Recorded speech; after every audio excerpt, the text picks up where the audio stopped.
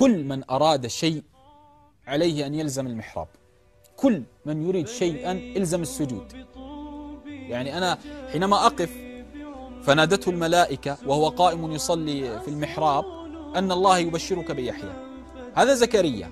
كان الله عز وجل حرمه الذرية فجاءته البشارة أين وهو في المحراب. ربيعة يقول للنبي عليه الصلاة والسلام يقول له النبي صلى الله عليه وسلم سل.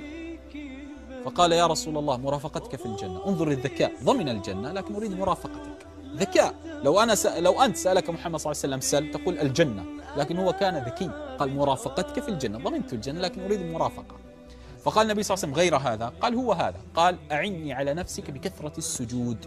أقول من أراد الجنة ومرافقة محمد عليه الصلاة والسلام عليه بكثرة السجود فما ظنك من أراد أمرا من متاع الدنيا. فما ظنك من أراد أمرا من متاع ماذا؟ الدنيا. لهذا أردت زوجي أردت أي شيء اسجدي لله سبحانه وتعالى لأن الله عز وجل يحب أن يتملق العبد ويكثر من الأعذار.